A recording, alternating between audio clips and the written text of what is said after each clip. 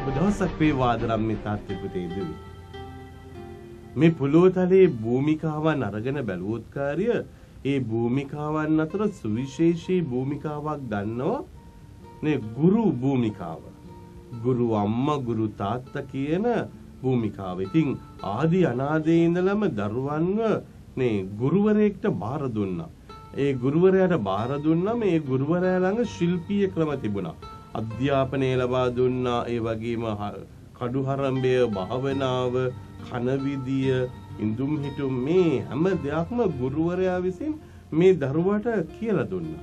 ඒ නිසා හොඳ ගුරුවරයෙක්ව තෝරගෙන බාර දුන්නා මේ මොහොතේ. ඉතින් රබ්බී කියන ගුරුතුමාණන් කියන ඒ චරිතය හරිම වැදගත්. ඒ නිසා ඔබේ මගේ ජීවිතයට ගුරුහරුකම් දෙන අය ගොඩක් වැදගත්. ඔබේ මගේ මාවත හදාගන්න ඔබේ මගේ ජීවිතේ ලස්සන කරගන්න ඔබේ මගේ ජීවිතයට අරුතක් ලැබෙන්න ගුරුහරුකම් ගොඩක් වැදගත්. මම නම් රත්තරන් අම්මේ තාත්තේ ප්‍රතිදුවේ ඇත්තටම ගුරුහරුකම් ලබා ගන්න හරිම ආසයි.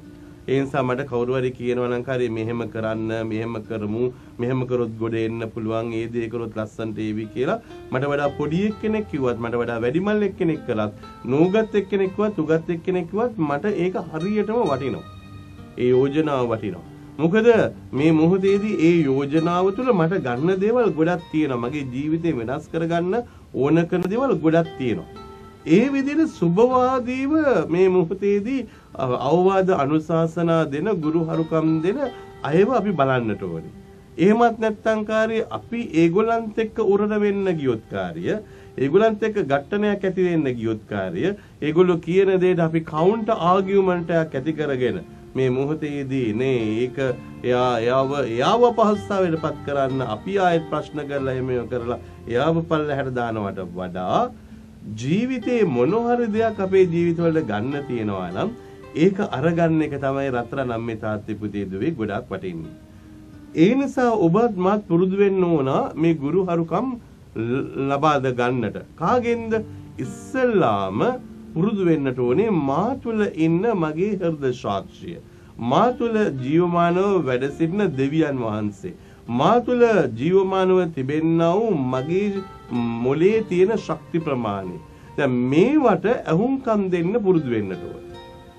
ගොඩක් වෙලාවට මොකද වෙන්නේ මට මාව ඇහෙන්නෙත් නැහැ. මට මාව දැනෙන්නෙත් නැහැ. මම මාත් එක්ක කතා කරන්නෙත් නැහැ. මම මගේ ජීවිතයට අවවාද අනුශාසනා දෙන්නෙත් නැහැ. මං මගේ ජීවිතේ හොඳ නරක පහදලා දෙන්නෙත් නැහැ. ඒ නිසා මං මගේ ජීවිතයට කරගන්නේ නැතුව අම්මේ තාත්තේ පුතේ දුවේ අනිත් අය විසින් පිටස්තර අය විසින් මගේ ජීවිතවලට කරන්නට යනකොට මට ඒක හුරු නැහැ.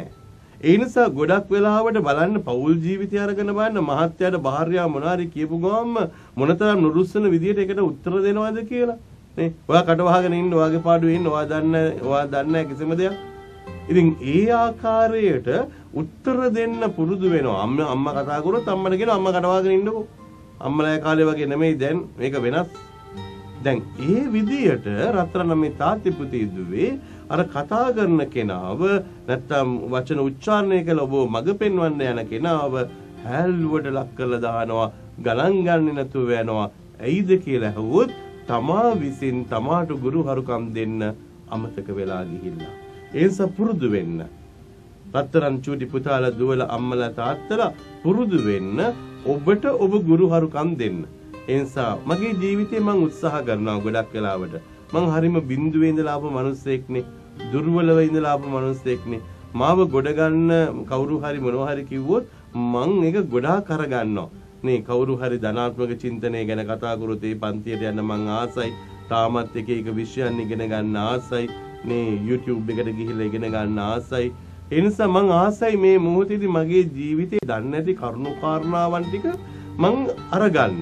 අරගන්නවා විතරක් නෙමෙයි ඊට පස්සේ මං මා තුළ ඉන්න ටීචර්ව එළියට ගන්නවා. අරගෙන මා මන් දිහා බලනවා. මන් දිහා බලනවා කොහොමද ඩැරල් මේ දවස්වල හැසිරෙන්නේ? කොහොමද ඩැරල් කතා බහ කරන්නේ? ඩැරල්ගේ දේශනාවන් කොහොමද? ඩැරල්ගේ වැඩපිළිවෙල කොහොමද? සෝෂල් ලයිෆ් එක කොහොමද? මේ ඔක්කොම විග්‍රහ කරලා බලනවා. ඉතින් අම්මේ තාත්තේ පුතේ දුවේ වෙලාවකට මම්ම කියනවා ඩැරල් ඔයාට මහන්සි දැන්. You are tired. නේ. ඒ නිසා you need a rest.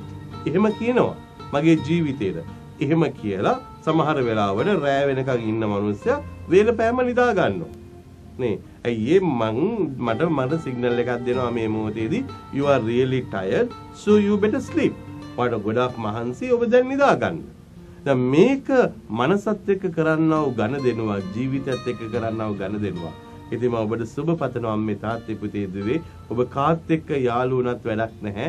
ඔබ ඔබත් එක්ක යාළු වුණේ නැත්තම්. ඔබ කාත් එක්ක කාට ගුරුහරුකම් දුන්නත් වැඩක් නැහැ.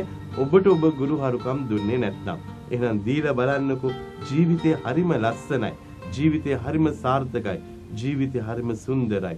ඔබ සියලු දෙනාට එලෙස අත්දකින්න වරම් ලැබේවයි කියලා හදවතින්ම ප්‍රාර්ථනා කරනවා. චිසුපිටයි.